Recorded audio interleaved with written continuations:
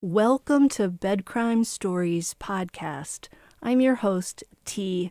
Good morning, good afternoon, good evening, bed crimers. As always, I wish you the best. To anyone new here, a warm welcome.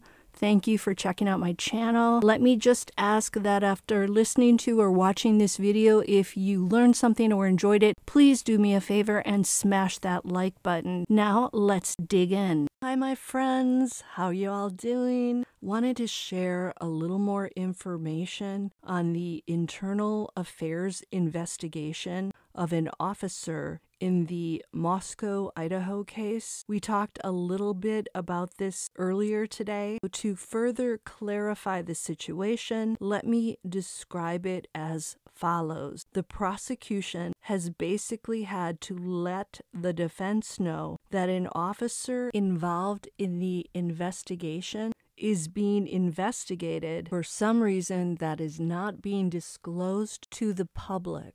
Because the details of this internal investigation are sealed, it's not clear who the officer involved is or how central to the Bryan Kohberger case they are. According to an article from CBS News, nationwide, some prosecutors and law enforcement agencies keep what are called Brady lists of officers who can be excluded from testimony or investigations for reasons that could deem them, meaning the officers, untrustworthy, meaning untrustworthy as witnesses. Idaho apparently keeps a statewide record database for police, corrections, and other law enforcement officers who have been decertified under the Brady Giglio rulings. Say that five times fast.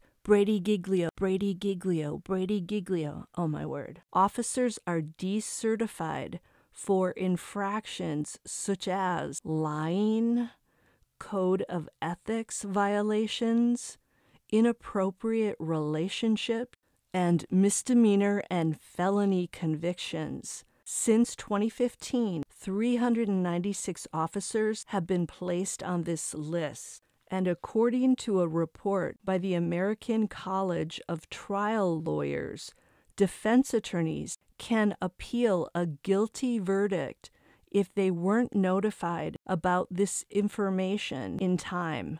So let's say Bryan Kohberger is found guilty. If the prosecutor failed to notify the defense about this officer's internal affairs investigation, the defense could appeal the guilty verdict. Clearly, the prosecution isn't going to take that risk. In doing research for this video, I stumbled on an article from KTVB 7 News that discussed an internal police investigation from July of 2022.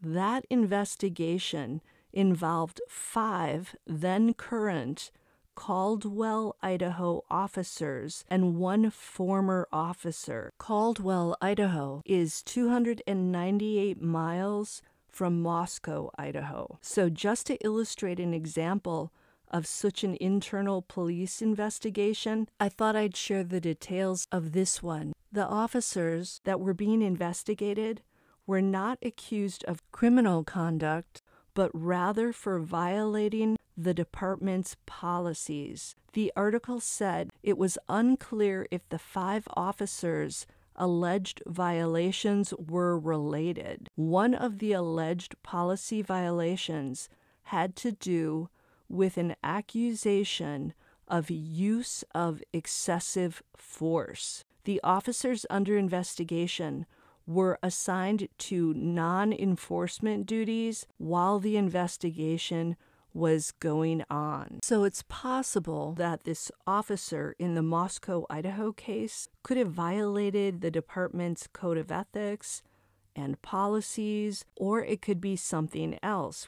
In other news, News Nation is reporting that the leather sheath that was found at the crime scene on Maddie Mogen's bed was sent to an out of state startup lab for processing. Ashley Banfield said It's unclear why an out of state startup lab had to be used to process the sheath for DNA instead of the Idaho State Lab. She was questioning if the Idaho State Lab perhaps wasn't good enough to identify the trace DNA.